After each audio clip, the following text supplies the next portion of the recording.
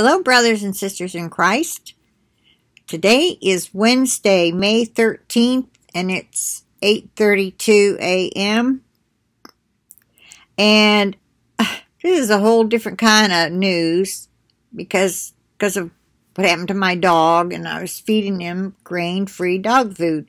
Okay, well, the vet that I took him to where I found out he had the tumor told me he's got a big sign up saying uh, grain-free dog food is uh, causing dilated cardiomyopathy in dogs. Okay, so see, that's what I was thinking is something was wrong with his heart because it would pound out of his chest when he when he would run.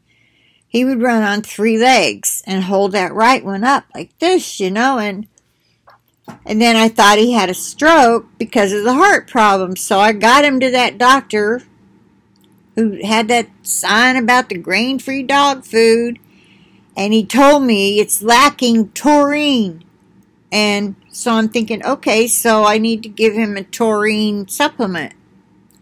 Well, I follow this veterinarian online and he's put up a, I got an email it's talking about the grain-free dog food and it lacking taurine. well, I looked this up before and I thought, surely I misunderstood and taurine was not the word, okay? But yeah, it was.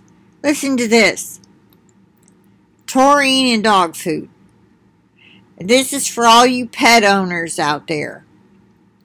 In July 2018, the FDA released a warning about grain-free dog foods and their possible connection to the development of a serious heart disease in dogs. In this warning, justif- is this warning justified and based on science?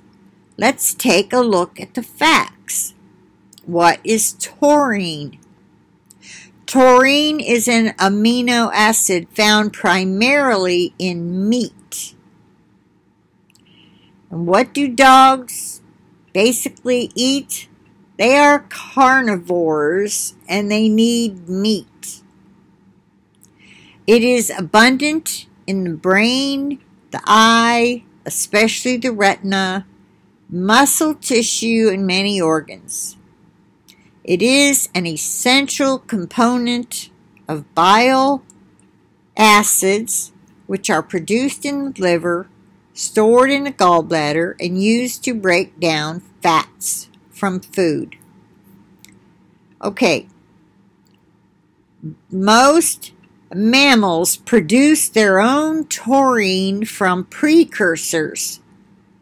The notable exception is cats who must consume taurine in their diet.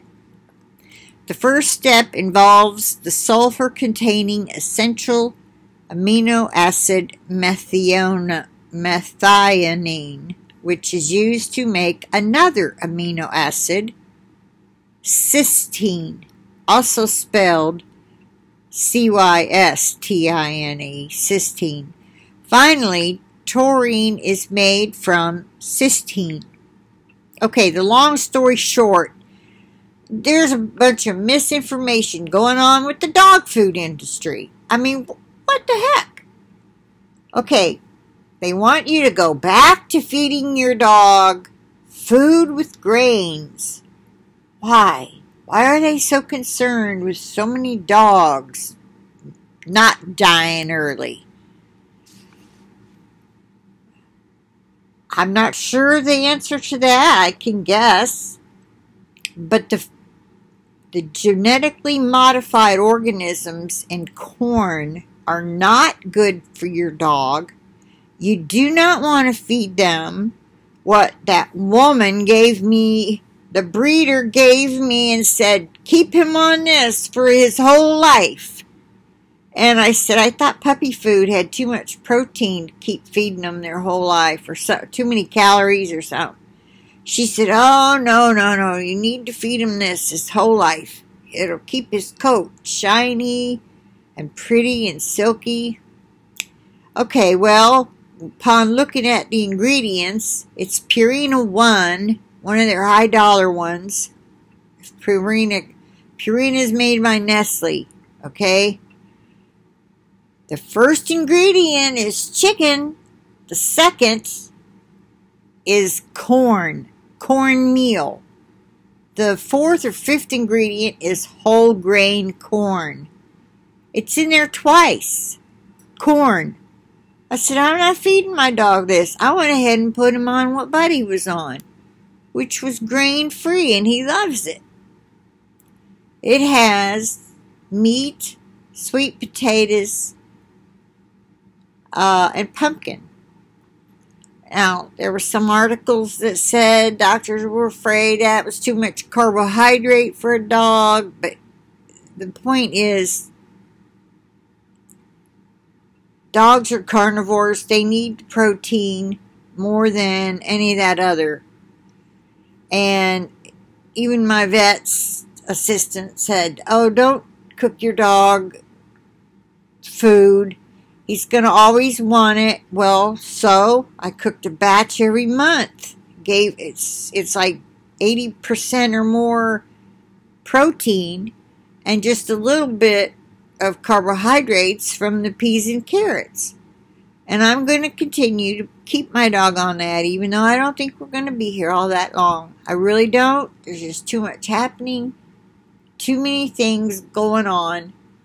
But in the meanwhile, um, make sure your dog's getting adequate amounts of protein and and unless you just bought a big bag of dog food with corn in it and you can't afford to get anything else just pray over it. And liars. It's just you know and that vet told me the one that's saw the tumor on Buddy, he's an older guy. He said, You need to stop feeding your dog that grain free and put him back on regular dog food so he'll get the taurine that he needs. Doesn't that just kind of show their ignorance? and I sent this piece of uh, information to the online vet that I follow for holistic cures and stuff because he was saying the same thing. You know, it just goes to show you no matter what information we're taught, we should do our own research. And I pray this helps me to be a better researcher. I'm going to end it at that. And I say bye for now. I'll talk to you later. Let's take care of our little fur babies. Well, we got them. All right. Bye for now. Talk to you later.